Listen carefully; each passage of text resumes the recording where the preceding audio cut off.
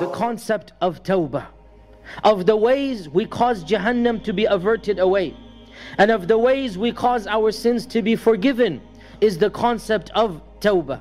And tawbah is an action of the heart.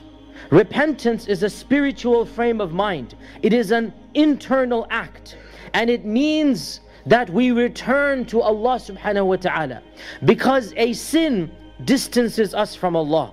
A sin puts distance between us and Allah subhanahu wa ta'ala. So what does tawbah do?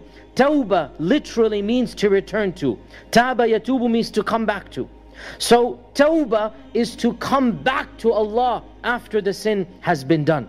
And Tawbah is desired. Not only is it desired, it is wajib, it is obligatory. Tawbah is obligatory on each and every Muslim every single day of his or her life. And the blessings of Tawbah are many, and I have given multiple khutbahs, and every single scholar and every single lecture has talked about the importance of Tawbah. And Tawbah is the most effective mechanism for having our sins forgiven. There is nothing more powerful to avert Jahannam than the concept of Tawbah.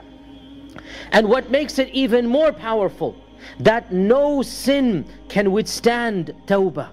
Tawbah forgives every sin. إِنَّ اللَّهَ يَغْفِرُ الذُّنُوبَ جَمِيعًا Allah can forgive all sins. But how? وَأَنِيبُوا إِلَىٰ رَبِّكُمْ وَأَسْلِمُوا لَهُ Turn to your Lord, submit to Him through the concept of Tawbah. So Tawbah forgives all sins. That makes it powerful. And what especially makes it powerful, dear brothers and sisters, is that its acceptance is guaranteed for the one who is sincere. The one who is sincere, the acceptance is guaranteed. No one can come between the sinner and Allah's mercy if the sinner practices tawbah. There is nothing that can avert tawbah being accepted. And therefore tawbah is powerful because it is wajib, because it is commanded by Allah subhanahu wa ta'ala, because it forgives all sins, and because the one who practices it and perfects it is guaranteed forgiveness. So when these are the stakes, then how can we not take advantage of tawbah? And in fact, some of our scholars have said that the concept of tawbah is one of the wisdoms why Allah created us. Think about this.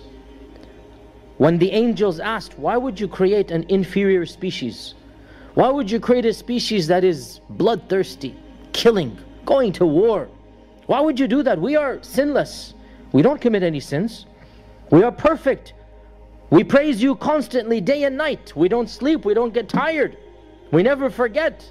Why would you do this? And Allah says, I know what you do not know. Ma la ta'lamun.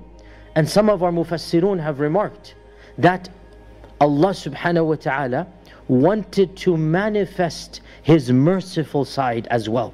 The fact that He forgives, the fact that He accepts the repentance of the sinner, and the angels do not sin and the angels do not ask for forgiveness, and the angels do not need tawbah.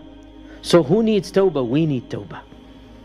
And that is why our Prophet ﷺ laid the foundations when he said that I repent to Allah every single day. Every single day. This is part of the sunnah of the Prophet ﷺ. So, number one is tawbah. And our Prophet ﷺ reminded us, التائب من الذنب كمن لا ذنب له the one who practices tawbah, repents to Allah, it is as if he has never committed the sin in the first place.